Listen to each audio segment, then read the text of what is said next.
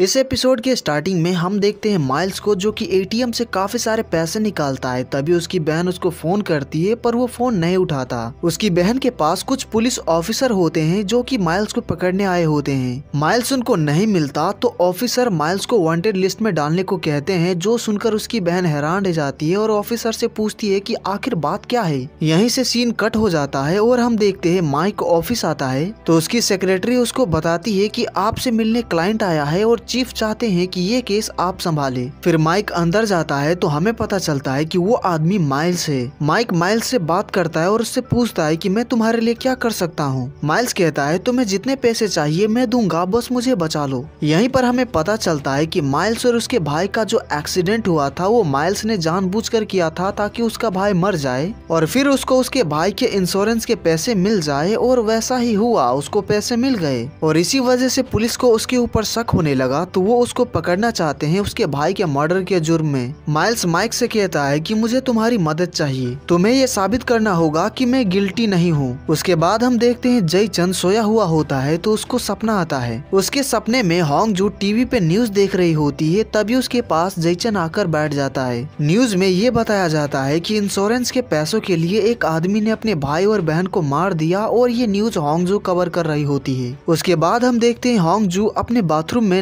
नहाकर म्यूज़िक बजाकर डांस कर रही होती है। फिर जब वो बाहर आती है तो अचानक अपने सामने जयचन और सैम को देखकर वो काफ़ी हैरान रह जाती है। उसने अच्छे कपड़े भी नहीं पहने होते तो उसे काफ़ी एम्बेरसिंग फील होने लगता है तो वो अपने कमरे में चली जाती है। दरअसल जयचन और सैम को खाना बनाना नहीं आता, इसीलिए होंगजू की मॉम ने जयचन से कहा था कि वो अपने भाई के साथ हर रोज उनके घर पे ही ब्रेकफास्ट कर ले, इसीलिए वो दोनों आए होते हैं। फिर थोड़ी देर बाद होंगजू अच्छे से तैयार होकर ब्रेकफास्ट करने आती है तो वो अपनी मोम से कहती है कि आपने मुझे बताया क्यों नहीं कि ये लोग हमारे घर आने वाले हैं? उसकी मोम कहती है, मैंने तुमसे कहा था, पर तुम बहुत लाउड म्यूज़िक सुन रही थी, इसीलिए सुनाई नहीं दिया होगा। फिर वो सभी साथ में ब्रेकफास्ट करते हैं और थोड़ी देर बाद जयचंद और होंगजू ऑफ़िस जाने के लिए बस स्टैंड पर खड़े होते हैं। जयचंद जिस बस से ऑफ़िस जाता है, वो आ जाती है, पर जयचन उसमें नहीं चढ़ता तो होंगजू उससे पूछती है कि तुम क्यों नहीं गए? जयचंद कहता है, मैं पहले तुम्हें ऑफ़िस तक छोड़ूँगा और फिर ऑफ़िस जाऊँगा। ये सुनकर होंगजू को काफ़ी अच्छा लगता है कि उसने जो कहा था, वो पूरा करने की वो कोशिश कर रहा है।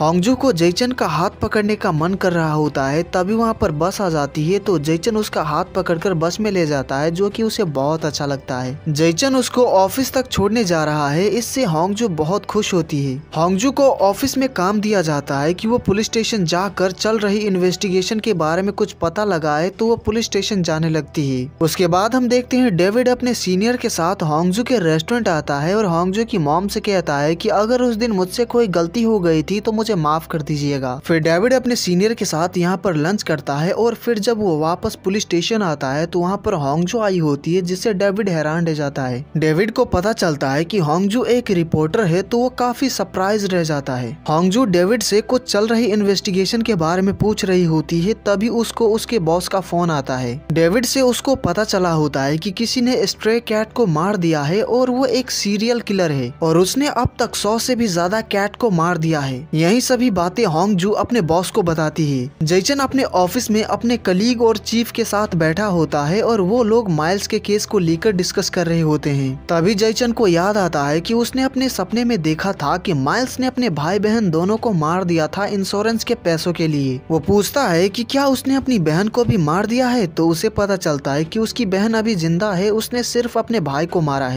होंगजू जब ऑफ़िस आती है तो उसके बॉस उसको कैट वाले केस पे काम करने को कहते हैं। उसके बाद हम देखते हैं, जयचंद सपना देख रहा होता है और उसके सपने में माइल्स के हाथों में खून लगा होता है और वो होंगजू को ढूंढ रहा होता है। होंगजू एक लड़की के साथ कहीं पर छिपी हुई होती है और वो कह रही होती है कि, जयचंद, अगर तुम मुझे अपने सपने में देख रहे हो तो प्लीज़ यहाँ आ जाओ। तभी माइल्स होंगजू को ढूंढ लेता है तो वो काफ़ी डर जाती है और यहीं पर जयचंद की नींद खुल जाती है। जयचंद भी इस सपने से काफ़ी परेशान हो गया होता है।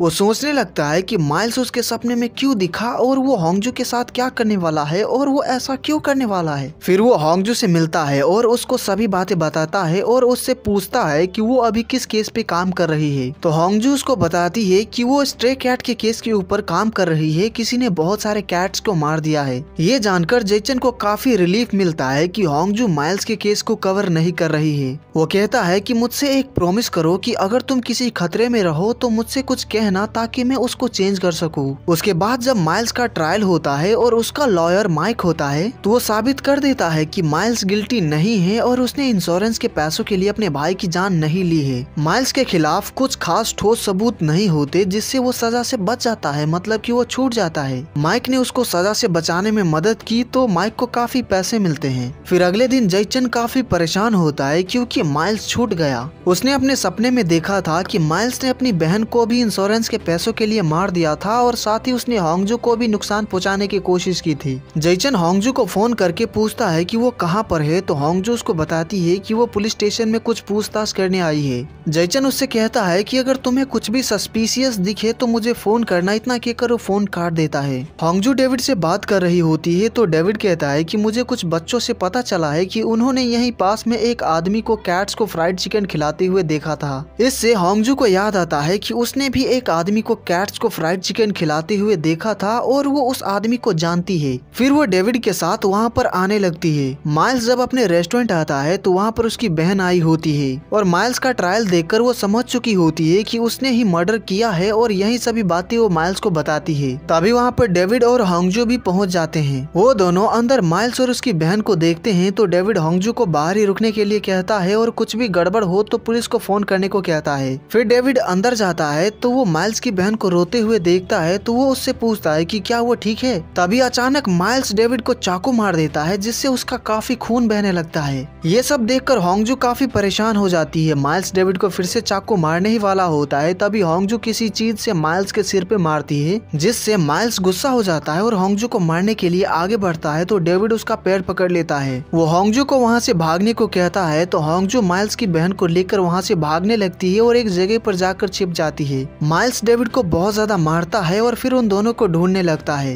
होंगजू को याद आता है कि जयचंद ने उससे कहा था कि जब वो खतरे में रहे तो वो कुछ बोले जिसको सपने में देखकर वो वहाँ पर पहुँच सके और सपने को चेंज कर सके। होंगजू कहती है जयचंद अगर तुम ये सब अपने सपने में देख रहे हो तो प्लीज़ जल्दी से यहाँ आ जाओ। वो जिस जगह पर होती है, उसका नाम लेती है और साथ ही डेट और टाइम भी बताती है। तभी वहाँ पर माइल्स आ जाता है और उन दोनों को देख लेता है। माइल्स उनको नुकसान पहुँचाने ही वाला होता है, तभी वहाँ की सभी लाइट्स जलने लगती है और वहाँ पर जयचंद आ जाता है।